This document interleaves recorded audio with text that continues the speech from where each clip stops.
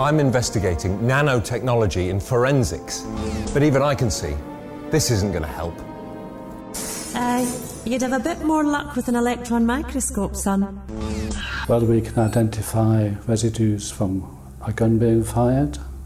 We can identify paints or fibres or fabrics or hairs. Thanks, that's. Or authenticate forgery. We can look at a whole range of materials on a very small scale. Wow, that does sound interesting. CSI East Midlands. Detective Prime investigating. I've seen them fingerprinting on the telly. That's true, but nanotechnology has already changed how this is done.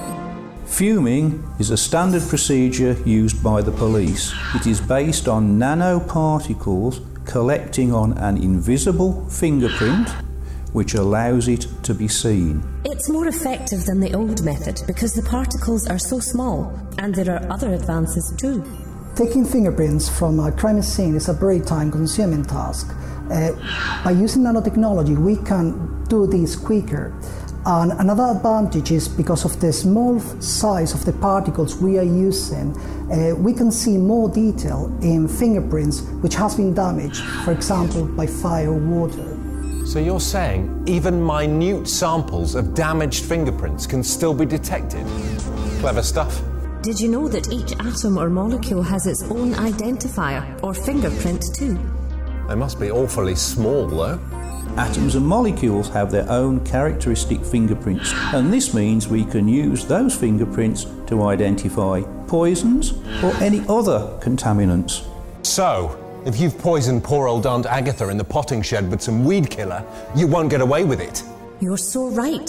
Nanodetectors will be able to identify even the smallest trace of the poison. Now, this expert has spent 15 years developing a silver colloid solution, which is nano-sized particles suspended in water. Well, there's a very old analytical technique called Raman spectroscopy, and that's been used for many years for trying to identify and detect materials. But unfortunately, it doesn't allow us to detect extremely small quantities of material. I presume this is where the nanobit comes in. What we can do by applying this colloid solution, we can now detect at levels approaching 100 million times more than we were able to do with the old technique. So you mean I couldn't just add an extra zero to this check and get away with it? Certainly not. With this technique, we'd be able to see the smallest difference between the ink that was there and the ink that you've put on in changing that document. So no chance of a career as a master forger then? And the news just gets worse and worse for the criminal fraternity. What nanotechnology will be able to do for security is develop anti-intruder systems whereby a burglar gets coated in nanoparticles which give a unique identity linking that burglar to the scene of crime. So with nanotechnology helping in crime detection, my advice to criminals is give it up. There's no future in it.